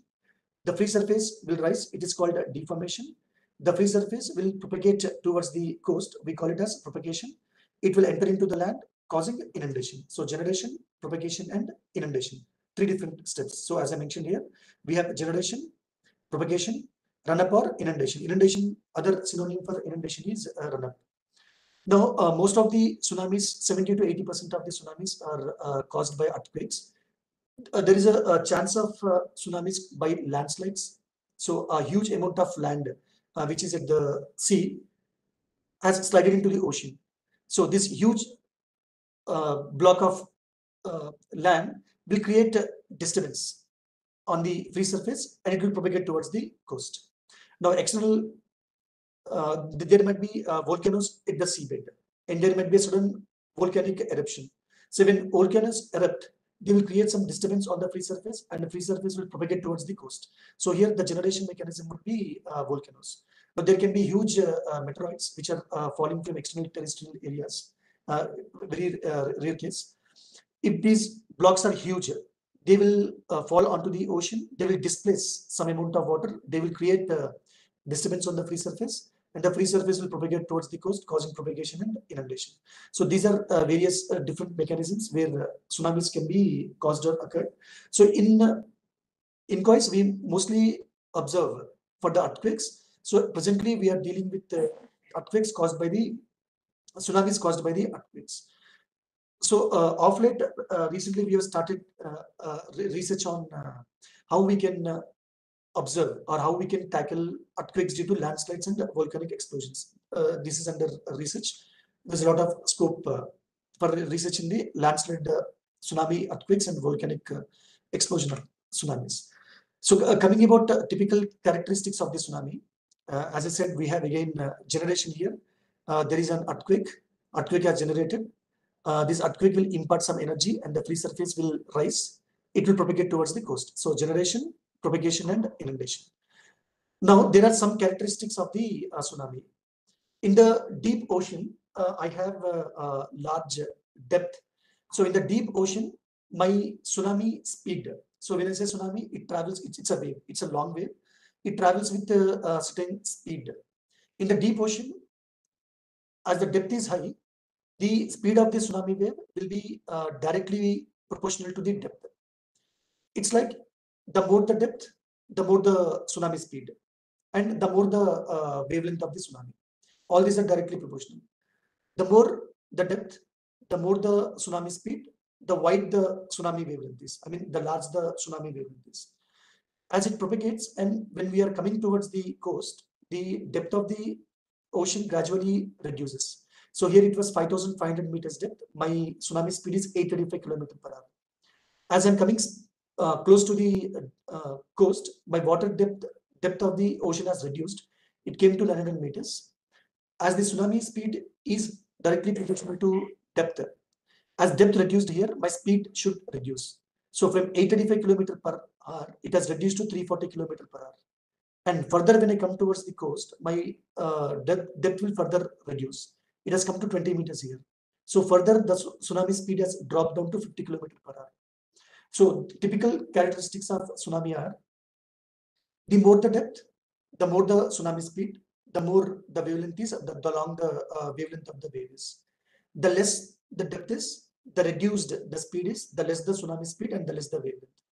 So uh, in this course of time, uh, we have a continuous uh, waves coming with a large speed and speed gradually reduces.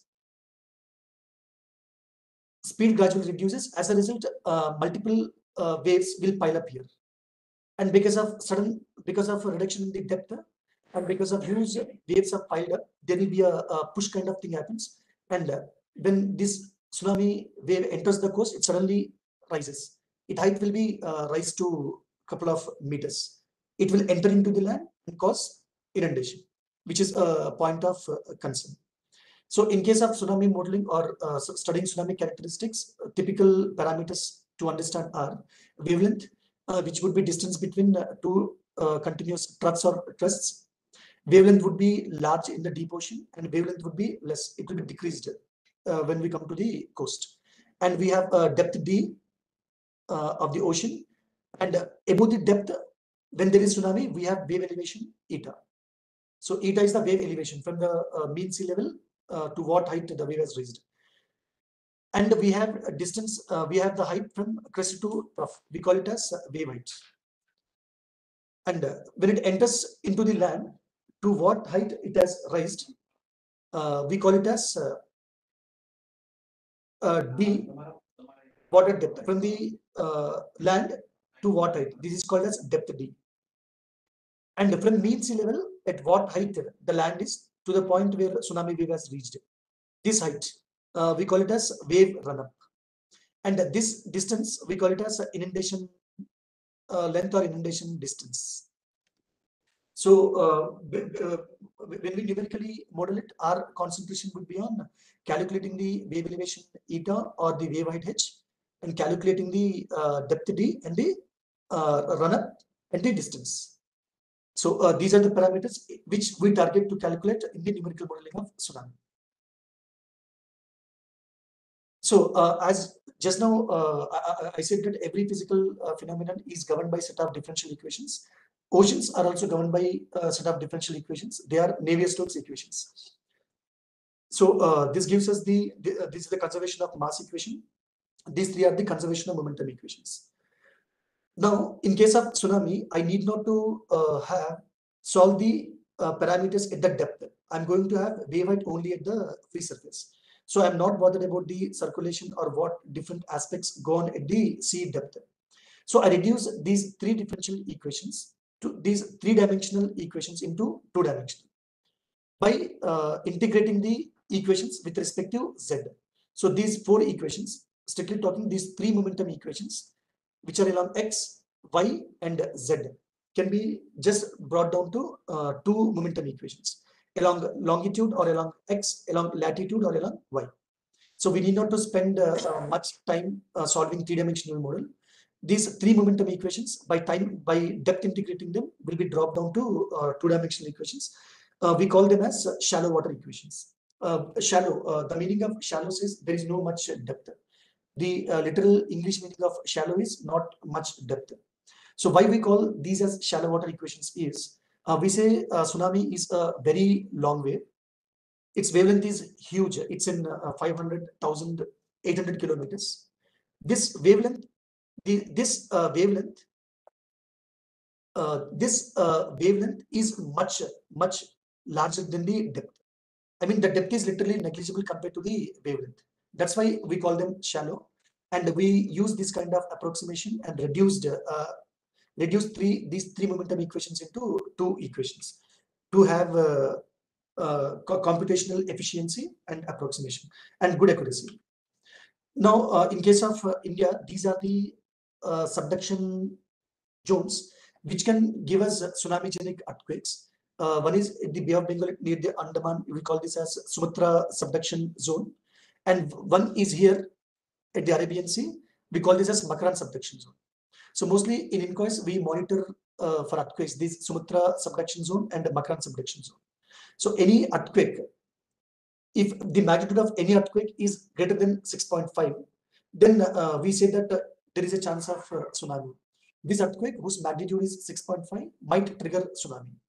So if the magnitude is less than 6.5, uh, we issue simply a bulletin uh, that uh, so-and-so location, there is an earthquake of so-and-so magnitude.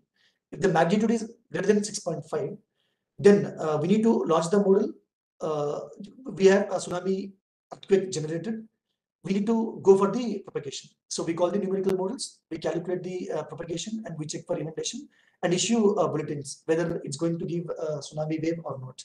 At what locations, what the height is going to be. So uh, uh, this is the uh, warning center facility we have. So our colleagues work uh, in uh, three different batches round the clock 24 hours. Uh, we have uh, real-time satellite uh, observations to get the data. So we work 24/7 and monitor the uh, tsunami-genic earthquakes.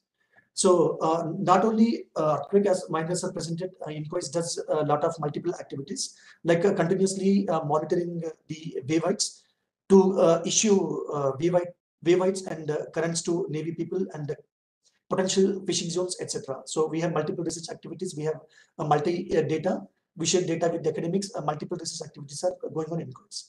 Along with the Tsunami Early Warning Center, also we have Storm Surge Early Warning Center, where uh, we take a track uh, from IMD. We uh, run numerical models and we give uh, storm surge forecasts. Now, these are the different observations which are used for tsunami and storm surge validation. Uh, this consists of this consists of tide buoys, moored buoys, ADCPs, uh, uh, bottom pressure BPRs, etc. Now, when, I solve tsunami numerically, so I need to either code it or I need to use different numerical packages. So depending on the numerical methods, these are the different uh, packages available to numerically model tsunami. So uh, in case of analytical solution, it's not possible, uh, ruled out. If uh, we want to apply finite difference method, then we have uh, numerical uh, methods like commit, Tsunami, and Comcot. If you want to use finite element method, we have numerical methods like ADCIRC, CASTM to uh, numerically model or forecast tsunami. If you want to use finite element, finite volume method, we have methods like Anuga, OpenFOAM, and Fluent, etc. If you want to use mesh-free methods, uh, we have numerical methods like uh, uh, SPH, smooth particle hydrodynamics. So uh, it's a typical, uh, uh, again, as I said, uh, everything is governed by differential equations. Tsunami is governed by uh, differential equations. They are shallow water equations. So in numerical model, typically we are solving these shallow water equations. Now again, in this two aspects will come into picture. First, whether I'm going to calculate inundation or I'm going to calculate only wave heights. That means only propagation. If I want to have only propagation, I can discard these nonlinear terms. Okay, uh, these are uh, nonlinear uh, terms, this term and uh, this term. Uh, they are nonlinear uh, terms. I can discard these nonlinear terms. I can linearize and I can solve only linear equations. Why? why we have to discard these terms is I'm interested in only calculating the propagation. If I include even these terms, my mathematical mathematics is going to be complex. My code is going to be complex. It is going to take a, a lot of time. So if my interest is only to calculate the wave heights, so I can linearize and uh, uh, solve these uh, linearized equations. Okay. And now, as I said, uh, just a second.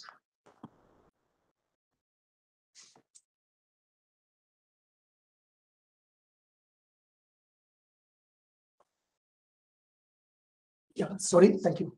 Uh, there is some other uh, echo here. Yeah, so uh, uh, we discussed that uh, uh, modeling of tsunami, we have three steps, generation, propagation, run-up and inundation. And we are using a numerical method. So numerical method has three steps, pre-processing, mathematical solution part, and in and post-processing. So what are the different inputs required for this tsunami? So first is I need a good uh, bathymetry for propagation and uh, I need topography for inundation. So just now, uh, Mahendra sir has uh, presented like how INCOIS uh, gathers topography data. So we take use of that topography data. And for bathymetry, uh, we are using GEBCO, an open source and uh, uh, free uh, open source available online. For bathymetry, we are using propagation data. For inundation, we have topography. And uh, the grid should be such that uh, the grid should cover the subduction zones. So just now, we have seen that there is a tsunami-genic subduction zone here, Sumatra subduction zone, and here Makran subduction zone. So my domain should be such that it should cover both the subduction zones or the subduction zone and all the regions of interest. Now, uh, once I have this bathymetry, topography, and a grid, there is an earthquake. So earthquake has generated. So earthquake is typically nothing but at what location there is an earthquake. So I have longitude, latitude, at what depth the earthquake has occurred, and it gives us the uh, magnitude. With these information, uh, we take uh, we, we need to have further uh, data to generate uh, the deformation. Like we need to know fault length, fault width, strike angle, dip angle, rake angle, and slip. So from live observations, we get longitude, latitude, depth, and uh, magnitude, MW of the earthquake. So using some formulas, using some uh, processing, from this data, we calculate fault length, fault width, strike angle, dip angle, rake angle, and slip. So all nine parameters are needed uh, to generate this uh, deformation. So once we have the deformation, it will propagate towards the coast. It will inundate the land. We call it as uh, inundation. Now, what's the outputs it, the post-processing part? As I said, our interest is wave height. So at every grid point, what is the wave height? And what part of the region got inundated? So this inundation at every time step. This is what uh, we say in the numerical model. Now it's a uh, finite difference mechanism. Uh, these are the different uh, nodal points on the ocean, on the domain of interest which we consider. So at every point, we calculate uh, from these differential equations. So we calculate the wave elevation eta. And we calculate uh, this m and n. m and n is nothing but a wave velocity, u component and uh, v component. So typically, how the algorithm uh, goes is, how the algorithm goes is, uh, I have an earthquake. From the earthquake, I'll calculate these parameters. I will calculate the deformation. Deformation is nothing but uh, I have the fault parameters. Deformation is nothing but at t is equal to zero, I have the wave heights. So I have the wave heights eta here. I will substitute this wave height eta in these equations. So these equations will give me m and n, nothing but uh, this u and uh, v. Once I know u and v, that is m and n, I'll substitute m and n here. For the next time step, I'll calculate eta. This eta again, I'll substitute in these equations. I'll calculate uh, u comma v. So it's like a cyclic process. If uh, the method is known for one single time step, it can be continued for the uh, and for loop can be run. It can be continued for three hours, four hours, five hours, likewise.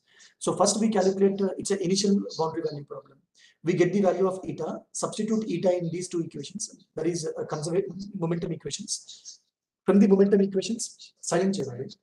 Uh, from the momentum equations, uh, uh, we get uh, velocity u and v, substitute the velocity u and v here, get the eta and the loop continues. So this is how numerical model runs. So here I, I have shown the algorithm. So pre-processing generate the grids. There is an earthquake. So get the fault parameters. From these fault parameters, calculate the surface deformation. Surface deformation is at t is equal to zero. Now generation part is over. From this wave height, calculate the velocities u comma v. Apply the boundary conditions. Substitute these u comma v and get the wave height. Okay. Again, go back here. So this loop uh, keeps continuing until uh, we have run tsunami for stipulated uh, duration of time, three hours, four hours, five hours like this, till the end of the time. This t end can be couple of hours, and we save the output, and our outputs are wave heights. Now, when we are solving this, you can see that uh, we are covering a huge uh, uh, region or huge area. So I'm going to end up with uh, many multiple thousands, millions of calculations. So when I do these thousands, millions of calculations on a single uh, processor computer, I cannot achieve the speed.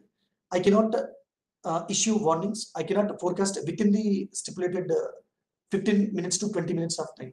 It will take years or months to forecast. So I need to uh, speed up the process. To speed up the process, I need to use multiple processes. When I use multiple processes, it comes under parallel computing. So we solve these numerical equations using parallel computing. For, for parallel computation, uh, uh, has GP, GPUs and it also Incois has uh, high performance uh, com computing systems. So in real time, when there is an earthquake, we launch these numerical models in HPC, high performance computing systems, and we uh, solve uh, these steps in HPC, generate the uh, wave height, analyze it, and issue the bulletins. So parallel computing is must. In serial computing, if uh, one event, uh, a run of three hours, takes two to three months, in HPC it will take two to three minutes. So there will be a huge difference between, uh, huge difference like difference between cheese and chalk. So it's a typical uh, uh, result of tsunami to display for December 26, 2004 tsunami. So we have run the numerical model using finite difference method for December 26, 2004 tsunami. So we all are aware that uh, India uh, got introduced to the term uh, tsunami in December 26, 2004. So uh, it's a typical, uh, there was, this is a typical grid showing bathymetry. So depths at different uh, parts of the ocean. And this is the initial deformation. There is an earthquake and the earthquake has lifted the wave to eight meters height. So here the free surface of the uh, ocean has lifted to 8 meters of height. So now this will propagate towards the coast. So these are the, uh, as I said, there will be an earthquake. We have multiple fault parameters. So these are the seismic fault parameters used to generate this deformation. So uh, it's a zoomed version of deformation showing a clear picture of height, 8 meters. Now, uh, when we simply, so when we simply run a model, uh, we cannot uh, confidently say that my numerical model is correct. It is giving the true results. I need to validate the numerical model with observations. So uh, here the finite difference method, this propagation observations have been compared. So uh, they are in quite a good match. So we generate uh, the output will go to the uh, GIS engine. Uh, we'll generate different plots which are useful to access the vulnerability or the threat. We call this as a travel time contour. Each area gives us the time taken by the tsunami wave to travel. For example, if I pick Chennai, Chennai here is in uh, blue color, uh, somewhere here. So 180 minutes. So this, if there's an earthquake here, for the tsunami wave to reach Chennai, it will take uh, uh, 180 minutes, means 60, 60 plus 30, so two and a half hours. So if there is an earthquake in Sumatra subduction zone, typically it will take two hours to two and a half hours to reach to Chennai coast. So at any given point, pick a point, we can tell at what time uh, tsunami wave will reach it. It's a travel time plot. And this gives the typical wave height. After the tsunami event, at what location, to what height the sea level has raised. Say I have picked up uh, this point, uh, Chennai again. At this point, I have uh, red color. Uh, red color says greater than two meters of height. So because of this December 26, 2004 tsunami at Chennai, I have uh, greater than two meters height wave height. So it's called as a, a wave height plot or directivity plot. This uh, this will show us wave height at different locations. With these threat maps, with these travel time plots and the directivity plot, which are obtained from the uh, numerical methods, are analyzed and uh, bulletins are, or warnings are issued. Uh, so here, this is a typical, the algorithm which I showed here, it's a typical finite difference algorithm, which we used to use around last year or a couple of years ago. The, uh, there are multiple uh, drawbacks of this uh, finite difference method. They are uh, time consuming and they are not uh, that accurate compared with the FEM methods. So of late, uh, we have switched to different numerical method called as ADCIRC. We are using this ADCIRC for storm surge forecasts. So we have migrated, we have converted, uh, we, we are using this ADCIRC even for uh, tsunami simulations. ADCIRC again, any numerical method solves set of equations. So these are the equations solved by the ADCIRC. These are shallow water equations in the uh, Cartesian coordinates. These are the shallow water equations in the spherical coordinates. Same thing, uh, we have the initial elevation eta, we solve it, get the wave height h. Now there are huge advantages with the ADCIRC. The advantages are uh, is highly validated, ADCIRC is finite element uh, based method, and ADCIRC is highly parallelized. Uh, parallelized in the sense, if this is a typical mesh covering uh, Bay of Bengal, uh, I can split this uh, mesh into small multiple chunks. Each chunk can be uh, sent to a different uh, uh, processor. Each chunk will be sent to a different processor and I can uh, speed up my computations. So ADCIRC is highly parallelized code. It's highly robust. It is highly validated. So we have switched on to ADCIRC for tsunami forecast. So ADCIRC uses, you, you can see a basic difference between a grid here. If you see this grid, it's like a, a square in shape. It's highly uh, structured. So we call this grid as a structured grid. So finite difference uh, methods and most of the numerical methods, they work with uh, structured grids, which have some inherent uh, drawback with the drawback with such grids. Whereas the ADCIRC uses uh, unstructured mesh. There are huge advantages with unstructured mesh. The advantages being, uh, we just discussed that uh, the wavelength of the tsunami wave is larger in the deep ocean. When it comes to the coast, it gets coarser. Uh, it, it gets uh, uh, wavelength reduces. So instead of wasting my time with the resolution in the deep ocean, I can have a coarse mesh in the deep ocean. And when I'm coming towards the coast, I can refine, I can have a fine resolution. This saves my computational time. This gives me a lot of advantages. So this is the main benefit of the unstructured, uh, unstructured the mesh or grid. Uh, you can see here the maximum grid spacing in the deep ocean here is around 10 kilometers. In the deep ocean, the grid spacing is uh, 10 kilometers, the resolution. When I'm coming towards the coast, the grid spacing is 50 meters. So it will capture the characteristics of the tsunami. Now we have run December 26, 2004 uh, tsunami with uh, ADCIRC. Uh, it's a typical unstructured mesh generated uh, covering the complete uh, operational domain of the Indian Ocean. This gives a typical bathymetry. At the regions of interest, we have picked data like SRTM, ALTM, etc. And this bathymetry has been mixed up with that, merged with that. And this shows a typical inundation grid. So uh, this is the coast. When we uh, cross the coast, the mesh becomes very fine so, so that it can capture uh, inundation. So this grid has around these many number of elements and these many number of nodes, uh, 3,77,747. The maximum grid spacing at the deep ocean, at the deep ocean is around uh, 20 kilometers. When I'm coming towards the coast, the resolution is 50 meters. Now, uh, 50 meters in the sense I can uh, resolve the tsunami heights to a distance of 50 meters when wave enters into the coast. Uh, this is a typical uh, initial uh, deformation. When there is an earthquake, I get different uh, seismic fault parameters like latitude, longitude, depth, that's epicenter, dip, slip, rake, dislocation, length, and width. With this, I'll generate the initial deformation. So this is the initial deformation. So you can see that the sea surface has raised to a height of 8 meters. This will now propagate towards the coast. So these are the uh, propagation uh, propagation of uh, tsunami wave at different uh, time intervals. You can see 30 minutes, uh, this part has been covered. For next one hour, uh, this part has been covered. So it will propagate towards the coast. After 12 hours, it has covered entire uh, uh, operational domain or entire domain. Again, as I said, we cannot blindly use any numerical method. Numerical method used should be validated with the observations to say that my numerical method is correct. So what I'm forecasting is true. It is giving uh, sensible values. It's not throwing any uh, garbage. So to we need to validate the numerical method. So here uh, we have validated the numerical method with the uh, real-time uh, observations at different locations like Kochi, Tuticorin, Chennai, uh, Tapanoi, Phuket, etc.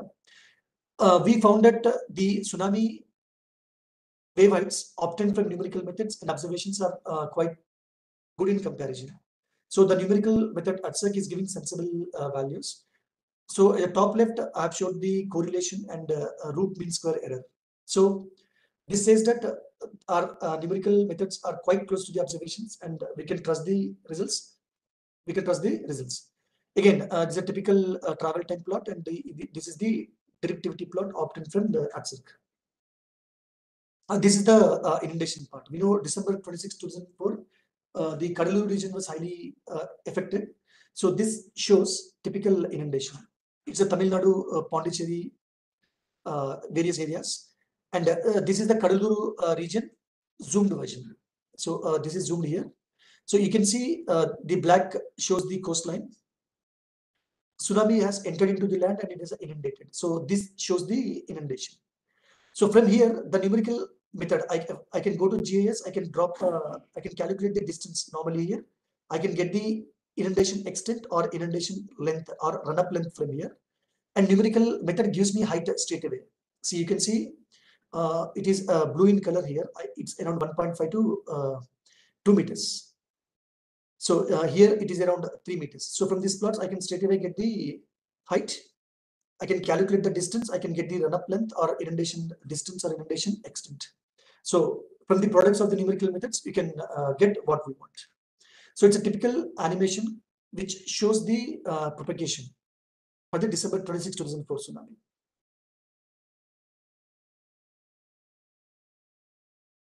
So now it has reached uh, the Chennai coast. It has taken around two hours, 15 minutes likewise.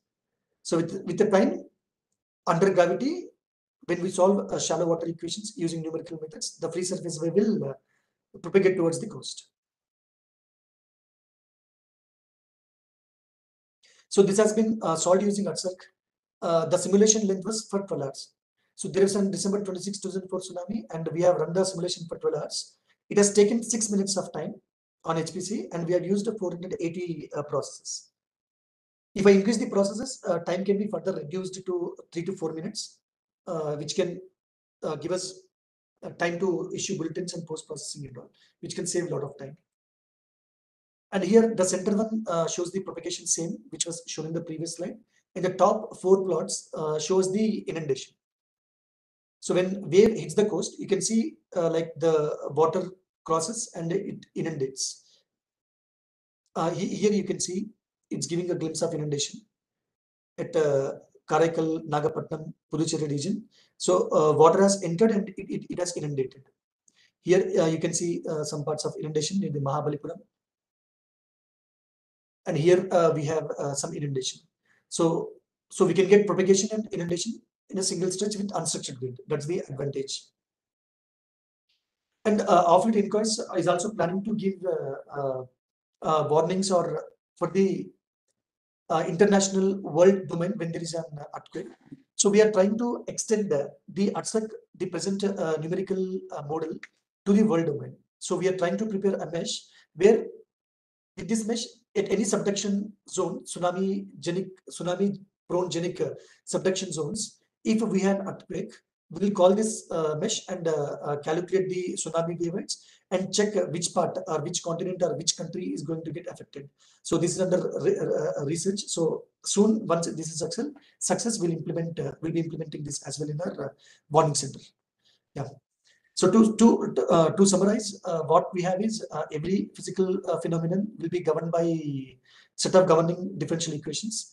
Likewise, in tsunami, we have set of governing differential equations. They are shallow water equations. So we solve these shallow water equations using numerical methods. So uh, tsunami consists of, tsunamis are occurred by earthquakes. 70 to 80 percent are because of earthquakes. Uh, INCOIS round the clock monitors these earthquakes. If magnitude is greater than 6.5, then we consider uh, those earthquakes, which is called generation, and uh, they it will uh, we will create a deformation on the free surface, and this deformation will propagate towards the coast, called as propagation, and it might inundate the land.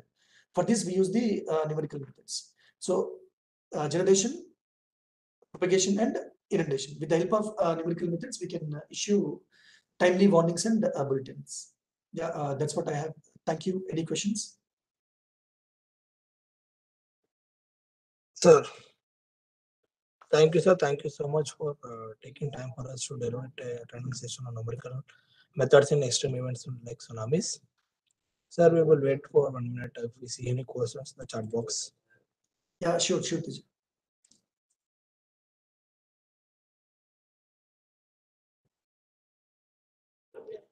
Sir, on the behalf of NIDM and participants, uh, I would like to convey my sincere thanks to you for taking time.